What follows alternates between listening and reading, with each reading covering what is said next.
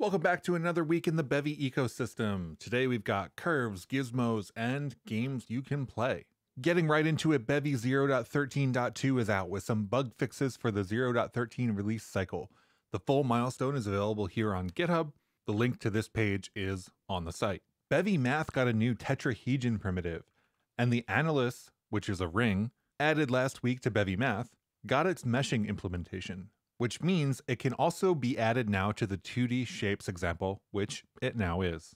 The Close on Escape system, which is a helper utility Bevy offers to allow closing the application when escape is pressed, was moved into the growing set of features in Bevy DevTools. This system is particularly useful if you're building a small example and you want to be able to quickly close the app. Speaking of DevTools, system stepping is no longer a default feature and requires being enabled to make use of it. I think this is a great move because not everybody will use this feature, and the people who do use it will be able to enable it.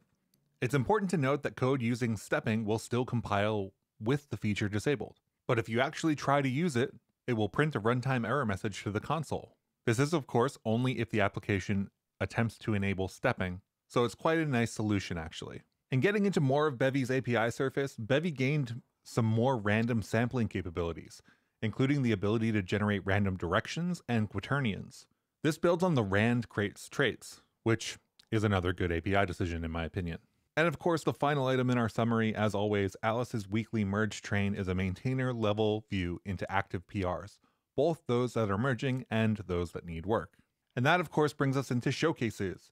The Compass Map Editor gets a brand new proof of concept game, including a client server architecture. This demo shows off a ward system where players have a limited view that can be expanded at runtime via items. Bevy Mini Buffer is a work in progress developer console UI that allows asking questions of a user and even supplying autocomplete. There were two updates for this this week, so be sure to get to the right thread if you want to talk about autocomplete or the first showcase.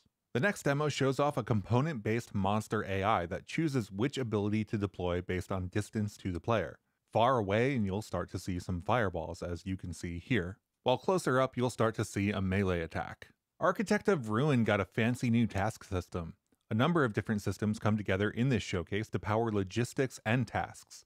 Tasks can have dependencies, systems can be stateful, and any gameplay code can request a delivery. Architect of Ruin, of course, has its own website at deadmoney.gg. In Defend Your Eggs, you play as the red block, protecting blue blocks from the green blocks. Green blocks are collected into a chained spring-like snake using Bevy Rapier physics. This demo is available to play on itch.io. This demo is a sparse voxel octree stress test. Every 0.3 seconds, this showcase is adding or overwriting 20,000 voxels at random locations, attempting to remove 100,000 voxels at random locations, and remeshing it in an async compute thread.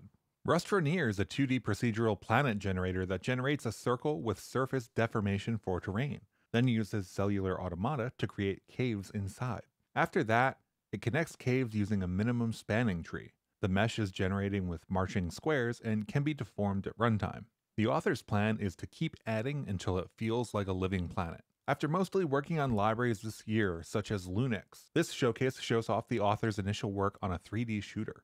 There's a first person controller and an extended player model. One aspect of this showcase that I love a lot is the ability to use your existing Minecraft skin as a texture. There were a couple of interesting updates during the week. This happens to be the third one that I'm showing you here, including weapon sway and a movement state machine. Also notable for this one is how I design awesome gun sounds, which is cited as inspiration in the last showcase. Bevy XPBD is transitioning away from the name XPBD and the solver, and thus a new solver is being worked on. This sandbox includes a whole host of different debug information and examples to test the new solver. The UI is all Bevy UI with some custom widgets, and some of the tooling could be useful to include in future Bevy XPBD releases, so the dependencies used are minimal.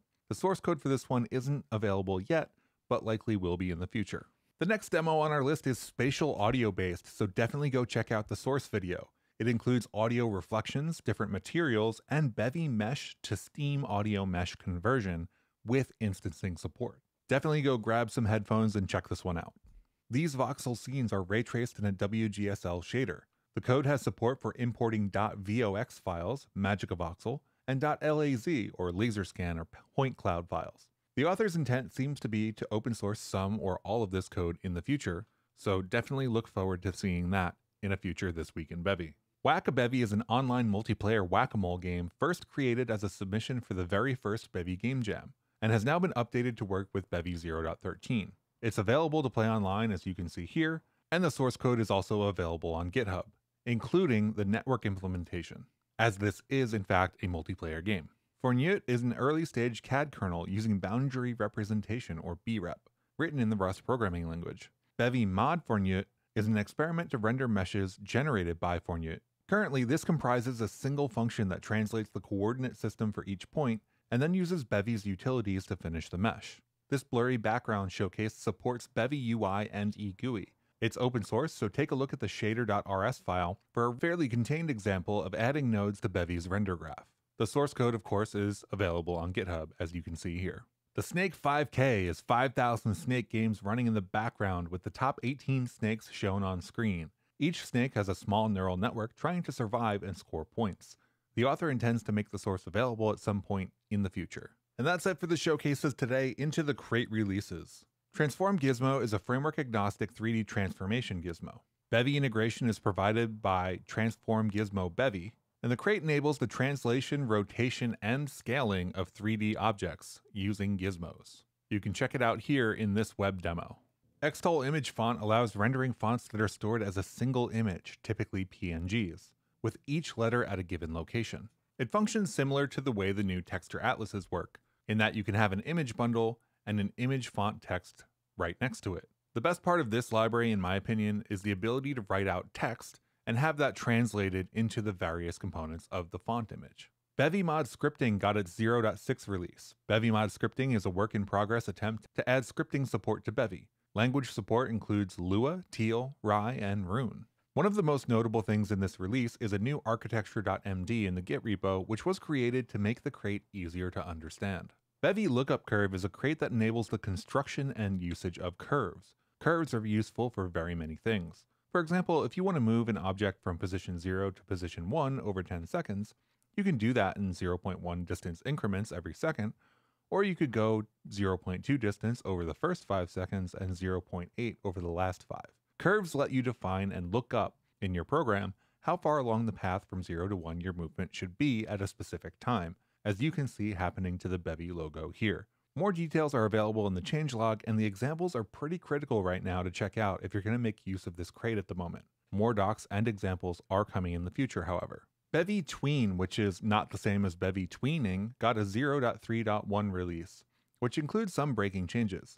0.3.1 ships tween events, configurable schedules, and the ability to use relative times when building tweens. Bevy TNUA is a floating character controller for Bevy that just got its 0.16 release. The 0.16 release is mostly about supporting physics better by allowing TNUA to run in a user specified schedule and supporting Bevy XPBD's double precision mode. Lightyear got its 0.13 release. Lightyear is a full featured client server networking library for Bevy. The 0.13 release brings Steam socket support as a network transport layer, as well as a new host server mode, which allows you to run the server and the client using the same Bevy app. Full details are available in the release notes. Bevy H264 got its first release. Bevy H264 is a rudimentary video player for Bevy. It only plays H264 video streams and does not open media container files, so don't expect it to open up your MP4 for you. And finally, we've got an educational post today. This is Conway's Game of Life Through Time. This demo is actually a recreation of Conway's Game of Life over time as a visualization. Every new generation is continually stacked on top of the previous to show the evolution of the cellular automata through time. This visualization is based on the same idea in a previous implementation found on Instagram from alex.form. And of course, if the overview wasn't deep enough for you, we've got all of the pull requests that were merged this week, as well as the pull requests that were open this week if you're looking to contribute. Some of the pull requests that are open only require review, so take a look and see if some of the new APIs work for you. If you're looking to get even deeper into contributing, there's a number of issues that were open this week, just like every week. Issues can require a little bit more work than just a PR review, but often even just confirming an issue is true for you as well as the issue author is useful. That's it for this week in the Bevy Engine. I'll see you next week.